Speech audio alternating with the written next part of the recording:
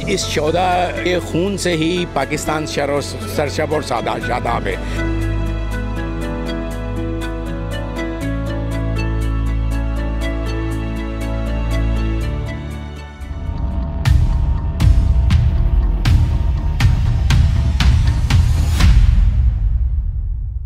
Defence day के मौके पर डीएचए कराची ने एक पुरवकार तकरीब का इनका किया, जो निशान पाकिस्तान पर मुनद हुई।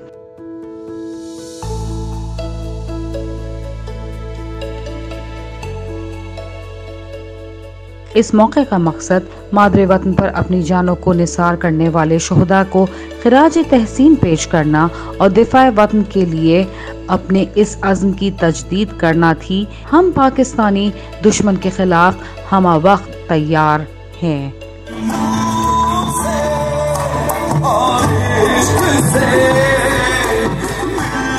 Seven months when my father got killed. My mother became widow at 21 age. Hardly this age people get married.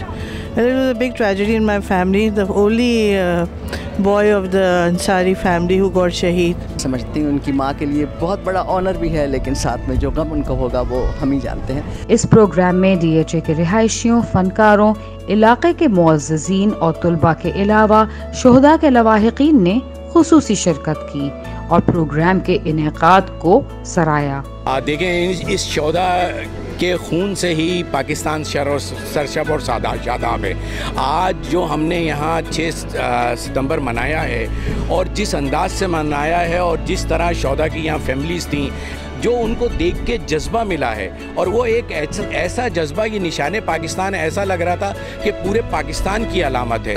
Event रखा गया है, ये बहुत ज़्यादा इंपॉर्टेंट था क्योंकि इससे हमें जो फ्यूचर की जनरेशन है, उनको पता लगता है कि हमारे कौन कौन से सोल्जर्स थे जिनको, जिन्होंने इतनी मेहनत की हमारे कौम को बचाने के लिए और इसे मैं बोलूँगा ये this was very very important event school के बच्चों ने मिली नगमे गाए और टैबलो भी पेश किया।